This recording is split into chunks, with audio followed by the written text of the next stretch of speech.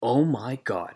X Men 97 was such a thrill to watch, and I don't say this often, but season 1 was nothing short of a masterpiece. Let's take it back for a second. Back in the day, I watched X Men in the 90s, along with the Spider Man cartoon, a bit of the Fantastic Four. Now, when this show returned with X Men 97, there was so much nostalgia. And what's great about 97, it takes all the good and double down on it. For example, X Men was always a family, like a drama, soap opera, with Misfits with all the mutants, but they all found a way to work together. What I love was seeing the characters dive deeper. For example, we saw Scott's character from being the leader to second command, then a father. Everyone's ripping on Scott the last few times in the movies for him being a simp or not really that great of a leader, just some background character in favor of Logan. But now he's in the forefront and I love it and they really redeemed him. I enjoyed Jean's story with Madeline and figure out who she was. Storm's journey becoming a weather goddess all over again after her injuries and then also Cable. He was so awesome. Watching him in the old show in the 90s, he seemed like a badass character, but now in this version with 97, there's more background who he is,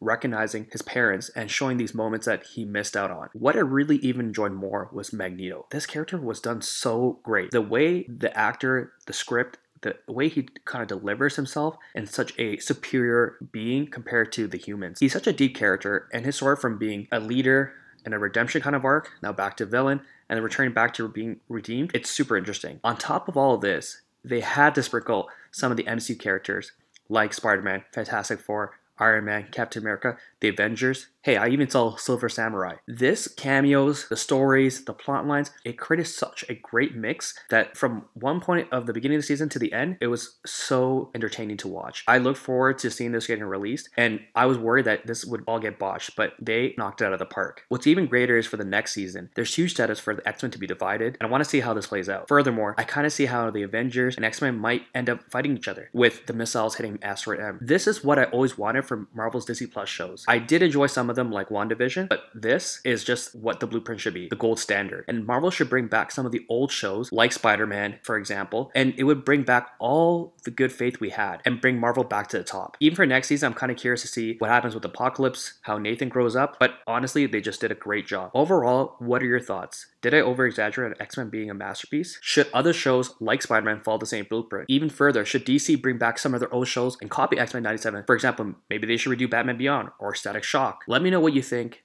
I want to hear your thoughts, and let's see the next season. Until the next time, it's your boy Scallywag Sam.